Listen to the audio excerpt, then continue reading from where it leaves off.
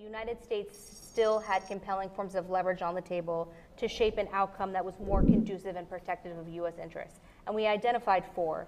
So the first one was the one third of Syrian territory that was owned via the U.S. military with its local partner, the Syrian Democratic Forces. Now, this was a light footprint on the U.S. military, only about a thousand troops over the course of the Syria Study Group's report, and then the tens of thousands of, of forces, both Kurdish and Arab, under the Syrian Democratic Forces. And that one third of Syria is the resource rich, it's the economic powerhouse of Syria. So, where the hydrocarbons are, which obviously is very much in the public debate here in Washington these days, as well as the agricultural powerhouse. But we argued that it wasn't just about this one third of Syrian territory that the U.S. military and our military presence owned, both to fight ISIS and also as leverage for affecting the, the overall political process for the broader Syrian conflict. There were three other areas of leverage.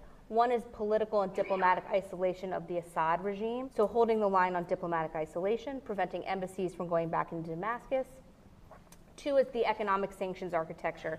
So some of this is part of the maximum pressure campaign of the Trump administration on Iran, but there's a whole suite of both executive and congressional sanctions on Syria and Bashar al-Assad, both for human rights abuses in Syria and to the backers of Assad for their activities on support in support of him in Syria and three was reconstruction aid. So the United States remains the overall largest single donor of humanitarian aid to Syrians both inside Syria and refugees outside of Syria. And there was some stabilization assistance in the part of Syria that was liberated from ISIS and controlled via the Syrian Democratic Forces in northern eastern Syria. The rest of Syria, though, is, is rubble.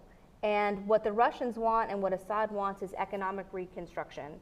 Um, and that is something that the United States can basically hold a card on via the international financial institutions and our cooperation with the Europeans. So we argued that absent behavioral changes by the Assad regime, we should hold the line on preventing reconstruction aid and technical expertise from going back into Syria.